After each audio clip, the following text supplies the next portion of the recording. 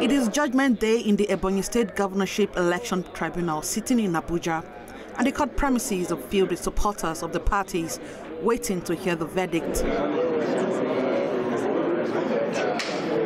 Inside the courtroom, counsels to the governor, Mr. Francis Nwifuru, as well as those of the two petitioners, the People's Democratic Party, PDP, and All Progressives Grand Alliance, APGA, also with a three-member panel to deliver its judgment.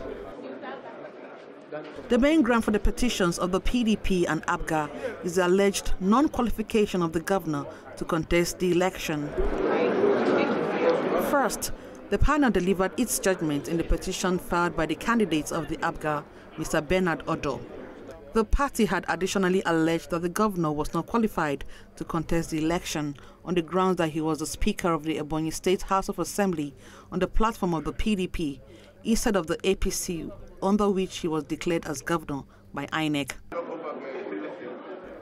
In a unanimous judgment, the three-member panel, headed by Justice Lekan Ogunmoye, dismissed the petition of the APGA candidate for lacking in merit. The tribunal held that APGA failed to show substantial evidence that Governor Nwifuru did not resign his membership of the PDP. The tribunal also held that the petitioner failed to approach the proper court to entertain the issue of membership of a political party. Next focus now is uh, to get the decision as it is, and um, the client will know what to do from that point on.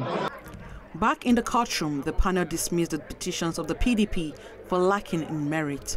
The court held that the petitioners failed to prove that the governor of Ebonyi State is not a member of the APC, but is instead a member of the PDP, which was what the petitioners had contended. This is The first uh, step. We still have a Court of Appeal and the Supreme Court. So from the outset, we knew that if we win, they will go on appeal. And we know that if we if it goes this way, we will go on appeal. The petitioners have 14 days to file an appeal, which should be dispensed within the next 60 days. Emanuela Ekele, Channels Television News.